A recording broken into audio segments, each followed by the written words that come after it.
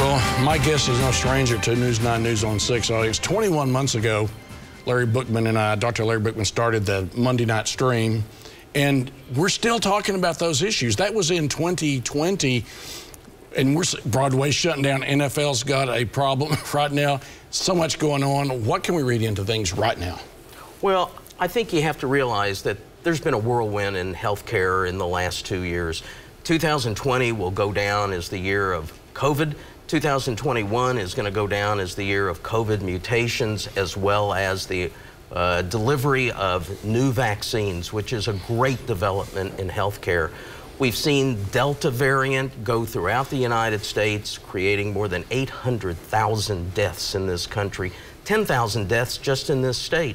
And now we have the Omicron variant, which is in more than 38 states. It's spreading rapidly, and we know that it's more transmissible, may not be more dangerous, but more transmiss transmissible. And as you've said, it's shut down our Broadway theaters again. It's affected our sports. We have more than 70 NFL players who have been affected by Delta and are out. Um, but we also have the development of the vaccine. Believe it or not, it's only been one year since the Pfizer vaccine was first developed and distributed so that we got shots in the arm. And now we're giving vaccines to all adults and most children. And we have boosters being delivered. So we've come a long, long ways. But we have to realize this is a world pandemic. We've got to get shots into our third world countries. And we've got a long ways to go yet. Let me ask you what people in Oklahoma, it's only about 60%. What do we have to do to get that 40% of folks who don't listen to public health or are fearful of the vaccines and public health measures? What do we do about that?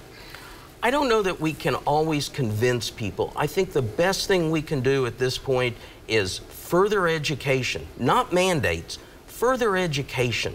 We need education in the state of Oklahoma. We need our politicians to support what is the science, not what the silent minority has been yelling about. So if we give the education, we show that it's safe and effective, and we've given more than 2 million shots in this state alone. More than 90% of Oklahoma County has at least one shot. We can show that it's safe and effective, and hopefully that will convince those who are reluctant to get not only their shot, but their children's shots. We've got about a minute now in uh, 2020, 2021. You know what those years were. Looking forward to 2022, what do you what do you see on the horizon? Got about a minute. I think that we're going to have improvement in healthcare delivery because of improved um, access to healthcare. I see that uh, artificial intelligence is going to play a major role. I also feel that we're going to have improved telehealth by improving our broadband and, and our internet access in the rural areas. We've got to stress that. One last question, 30 seconds. What do you think people over the next couple of weeks are going to be getting together? What can people who are concerned about the variant do to protect themselves? I think that if everybody is vaccinated and had their boosters, I do think it's safe that you may get a cold, but you're not going to get seriously ill. If you're not vaccinated, stay home. And if you're with people who aren't vaccinated or maybe only have one shot, wear masks. That's still the best protection we have on the short term. But mostly I say get vaccinated.